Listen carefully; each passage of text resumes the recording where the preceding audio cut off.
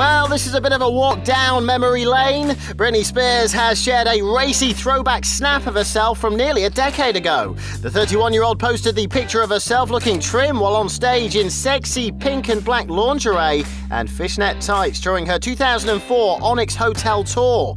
The pop star tweeted the image alongside the Throwback Thursday hashtag. She wrote that it was one of her favourite tour outfits and then asked fans what was some of theirs.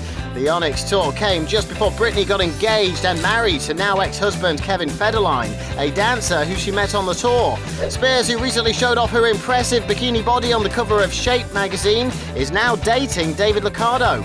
The singer, who has two sons, Sean Preston and Jayden James, with ex Kevin, is reportedly planning her first Las Vegas residency soon and she has reportedly been hitting the gym regularly to keep her figure in tip top condition in preparation. We wonder if she'll be wearing a stage costume like this one in Sin City, although it looks more like underwear than an outfit to us.